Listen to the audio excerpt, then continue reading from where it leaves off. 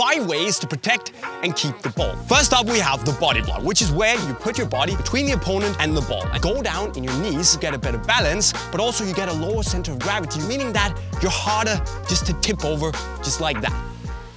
Let it roll. What you do here is you just make a body feint. That way, just make sure that there's actually open space in behind you so you don't just let the ball roll to an opponent.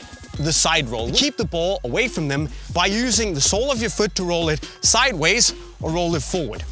Return to sender. The safest way to protect the ball is, if you get the pass, to simply just pass it back. So if you are in doubt, play it safe, return the ball to where it came from. The radar. But no matter if your team's communication sucks or not, it's important that you know that scanning the pitch, knowing what's going on around you is the best way to protect and keep the ball. So there you have them, my friends.